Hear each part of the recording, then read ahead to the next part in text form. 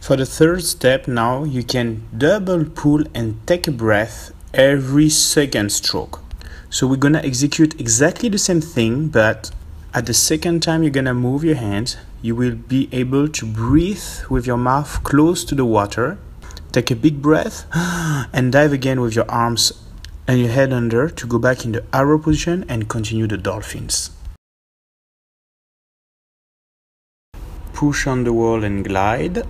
One dolphin, two dolphin move both hands. One dolphin, two dolphin move both hands and breathe. One dolphin, two dolphin, one dolphin, two dolphin, breathe. Try to relax and to feel the movement natural in the water.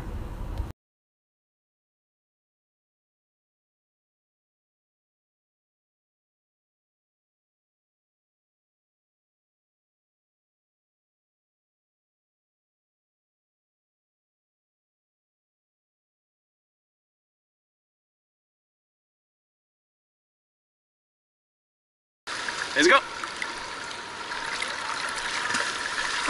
Correct. And breathe. And, don't breathe. And breathe. Don't breathe. And breathe. Very good.